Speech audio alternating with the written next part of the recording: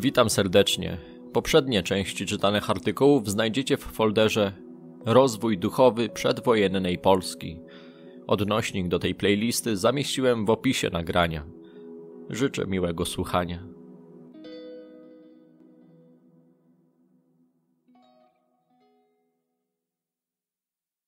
T. Z. Hymn do Amon-Ra. Życie zewnętrzne, zarówno jak wiedza tajemna i religia Egiptu, znalazła swe odbicie w Księdze Nadchodzącego Dnia, znanej ogólnie pod nazwą Księgi Umarłych. Już w roku 3500 przed Chrystusem, gdy został napisany pierwszy rozdział tej księgi, symbole w niej umieszczone były tak dawne, że znaczenie ich istotne było zatracone. Teologia, obrzędy i sakramenty Egipcjan dotyczyły jednej prawdy wiecznego życia Ra, przejawiającego się przez wiecznie odnawiające się formy. Księga Umarłych, rozdział pierwszy. Pokłon ci, o Ra, w płomiennem twem zaraniu, wzniosłeś się, lśnisz, pod stopą masz niebiosa.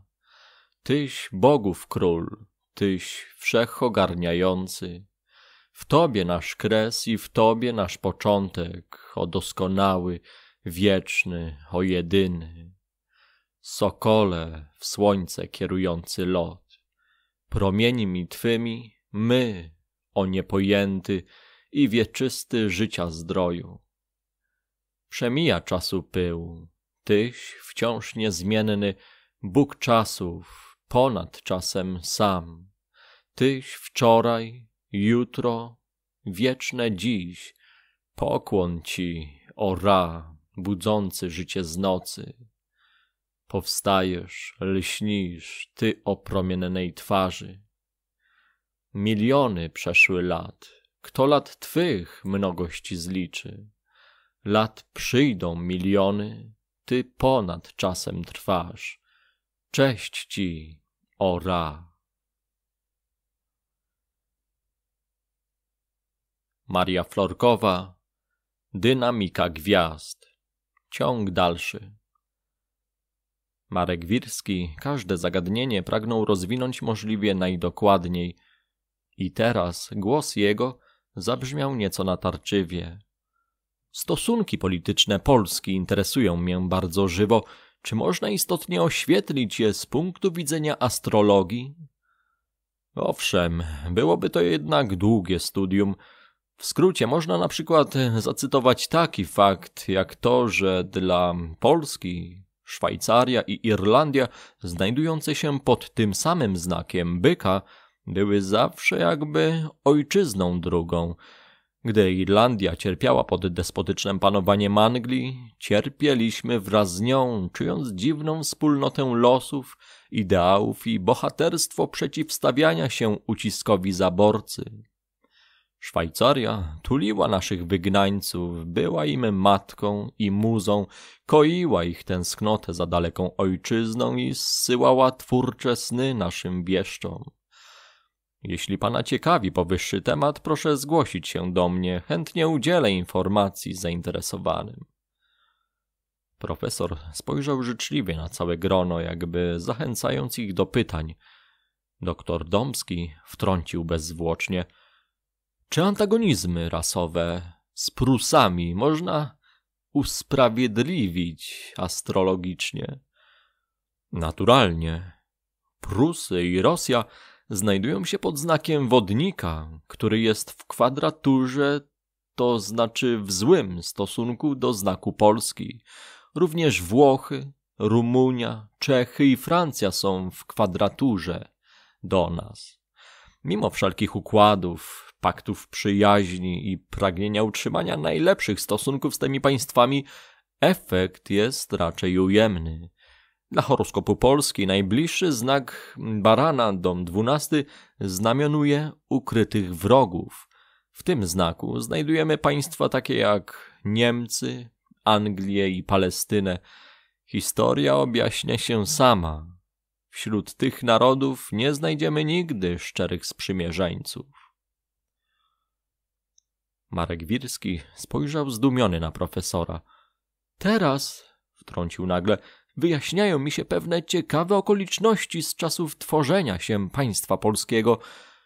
Ależ tak, Czechy i Francja dały nam dowód, że sprawa Polski interesuje ich, ale bynajmniej nie altruistycznie. Czy pamiętacie plebiscyt na Śląsku? Mimo wyraźnej polskości tych ziem, Czechy z poparciem Francji oznaczyły tam swe granice. Gdyby nie interwencja Francji, sprawy te ułożyłyby się zgoła inaczej, przyznał profesor.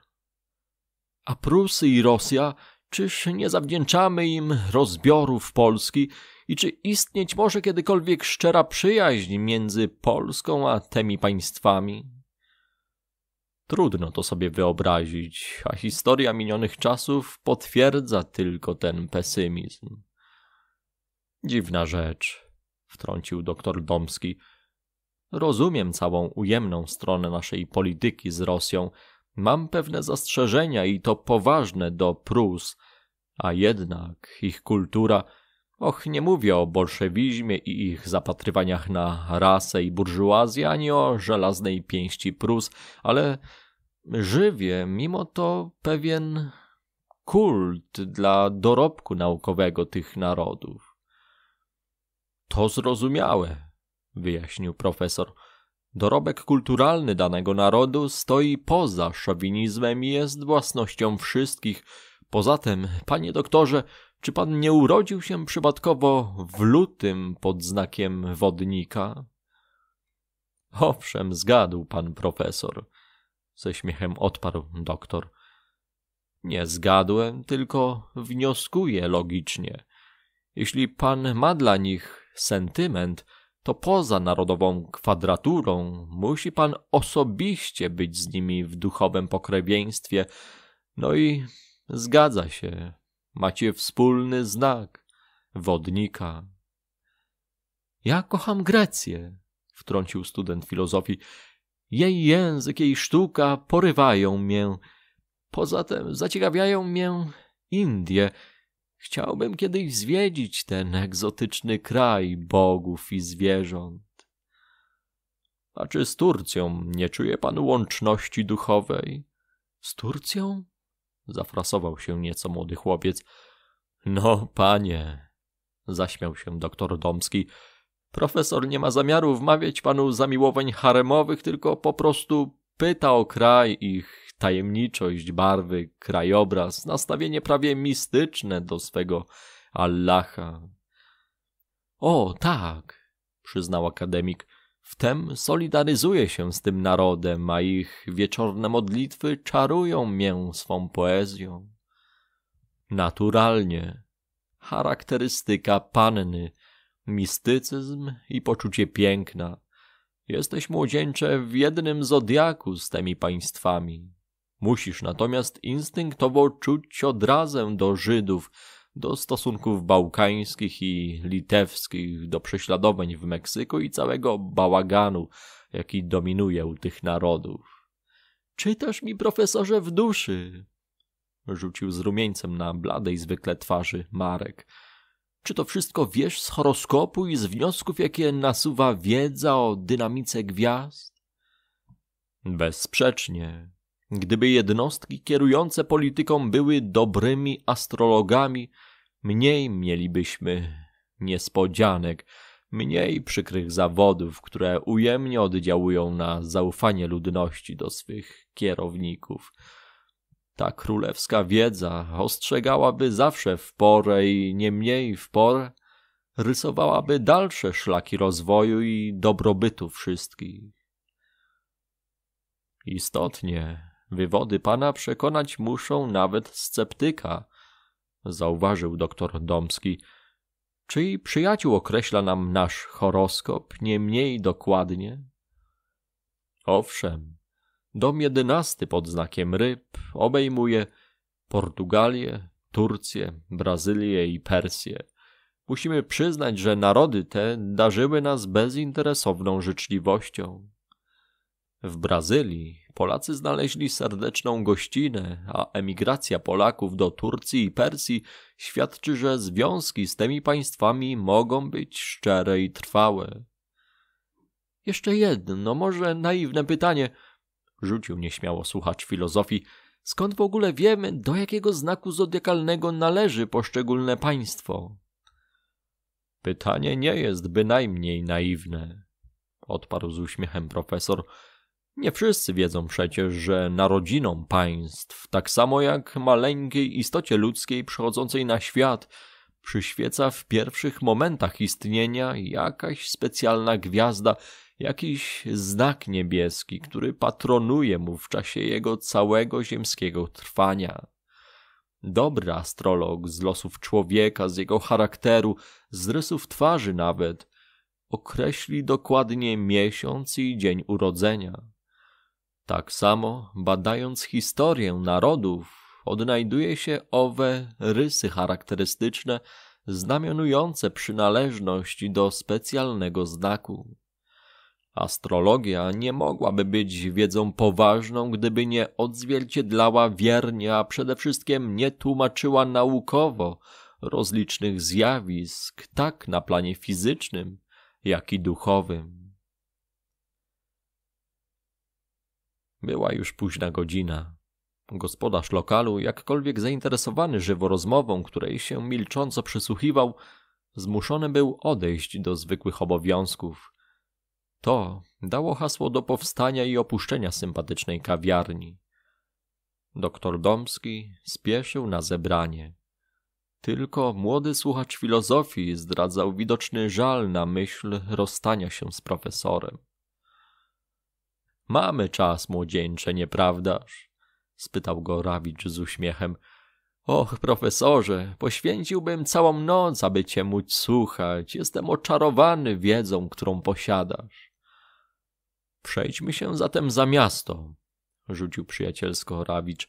Noc jest piękna, a w obliczu tych rozlicznych, świetlistych światów, które wyzłacają granat nieba, myśli się zgoła inaczej niż przy kinkietach modnej kawiarni. Jestem panu wdzięczny za zrozumienie i wyczucie mego pragnienia, rzekł entuzjastycznie Wirski. Jestem dobrym telepatą, zaśmiał się profesor. Zgaduję również, że urodził się pan we wrześniu, nieprawdaż? Aż tak, istotnie. Z czego pan to wnioskuje? Z poprzedniej rozmowy i z pańskiego entuzjazmu dla astrologii. Jestem pewny, że z czasem poświęci jej pan więcej uwagi i czasu. Czy pan mi wierzy, profesorze, że od kilku godzin myślę innymi kategoriami niż dotąd. Odkryłem nowy, tajemniczy świat, który woła mię ku sobie. Przyjacielu, rzekł ciepło Rawicz, podnieś głowę i spojrzyj na świetlisty firmament.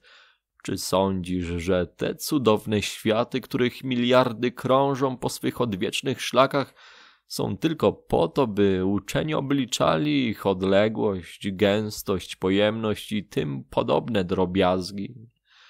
Czyż cel Stwórcy byłby tak błahy, a otchłanny bezkres wszechświata tak mało celowy?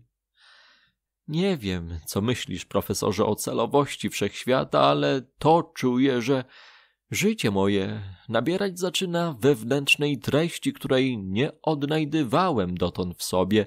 Chciałbym ogarnąć myślą tysiące tajemnic, odpowiedzieć na setki pytań, a bezradnie stanąć muszę przed najprostszymi zagadnieniami.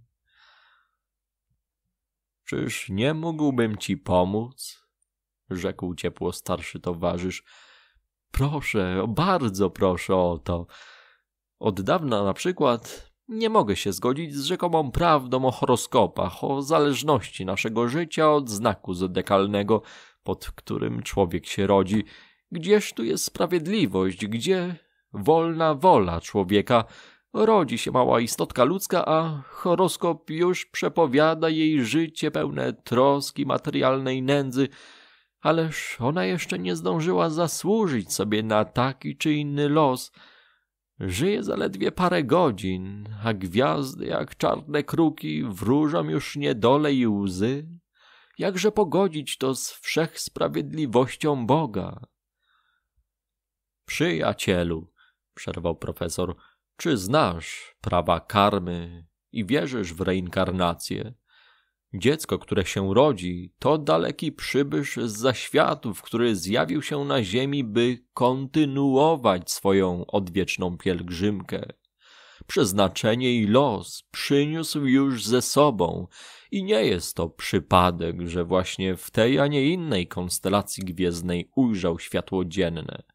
Stało się to na skutek wyższych, tajemniczych praw, które rządzą kosmosem. Czy mógłbym to usłyszeć w formie więcej zrozumiałej? Ciąg dalszy nastąpi. Józef Jankowski, Dżami, poeta, sufi. Ciąg dalszy. Tekst szósty. Bóg, jedyna miłość wieczna. Wczoraj świat ten nie istniał ani nie jawił się jako istnienie, podczas gdy dziś jawi się jako istniejący. Nie ma toli rzeczywistego istnienia, jest on jedynie pozorem i jutro nic już z niego nie będzie widzialnem. Jakaż ci korzyść tedy dać się powodować czym pędom i pragnieniom, Dlaczego wiążesz się z tymi przejściowymi rzeczami, które lśnią blaskiem ułudnym? Obróć swe serce od tego wszystkiego i zwiąż je mocno z Bogiem. Zerwij z tym wszystkim i złącz się z Nim ściśle. On bowiem jeden był zawsze i nigdy nie przestanie istnieć. Miara Jego wieczności nie jest nigdy dotknięta, przez cierni przygodności. Tekst siódmy. Skończona i nieskończona piękność. W ogrodzie bóstwa błądził wśród różanych stref. Promień piękna wytropił mnie, przyniósł ten zew. Jam jest drzewem, te kwiaty to odrostki me, niech ci one nie skryją, że ze mnie ich krzew. Czem są wdzięki zalotne, czem różany pąk, czem są lice nadobne, utoczoność rąk, kiedy piękno wszechistne wokół wonią tchnie, po co w drobnych piękności usidlać się w krąg. Tekst ósmy. Prawda. Wtem, co młodość gorąca jako piękno zrywa, w celu pragnień ich prawda ukryta spoczywa, widziana jako względność to świat tutaj zjawu, widziana w swej istocie to prawda prawdziwa. Co tu w trybach odmiennych jawi się zwikłanie, jako świat ten wciąż rojny i ból i targanie, niechaj znowu się ściągnie do swego spławu, wtedy jedna, jedyna prawda pozostanie. Tekst dziewiąty. Bóg Wszechmocny. Bóg Wszechmocny, którego dobroć, miłość, władza i łaska nieobjęta wszeby to ogradza, z każdą chwilą świat jeden do nicestwa ściąga i na to miejsce zaraz inny wyprowadza. I wszystkie dary, Boża to prządza duchowa, a każdy z osobliwym imieniem się snowa, z każdym tchem jedno imię zgładza z imią sąga i na to miejsce inne utwarza od nowa. Przypis. To znaczy, że część świata materialnego przez łaskę Bożą staje się zdolną do przyjęcia prawdziwego bytu i stąd zjaw staje się prawdziwym bytem wyodrębnionym. Wszechmoc Atoli Boża wymaga całkowitego zgładzenia wszystkich zjawów i wszelkiej mnożności tejże substancji, i stąd proces ten powtarza się ad infinitum. Tekst dziesiąty. Bóg za zasłoną. Prześliczny pączku róży, którym duszę sycę, czemu jak zalotnicę ukrywasz swe lice? Na to pączek z uśmiechem, choć jestem stulony, wżdy piękna mego pojąć możesz tajemnicę. Lico niezasłonione byłoby dla wzroku nadto silnym wrażeniem blasku i uroku, jakiż to wzrok znieść może ludzki niezmrużony, strzelisty wylew piękna i światła potoku. Tak słońca sztandar, kiedy po niebie się toczy, blaskiem swym rozstraja zmysły i aż mroczy, lecz kiedy je obłoczone okryją welony, wtedy światłem łagodnem uszczęśliwia oczy.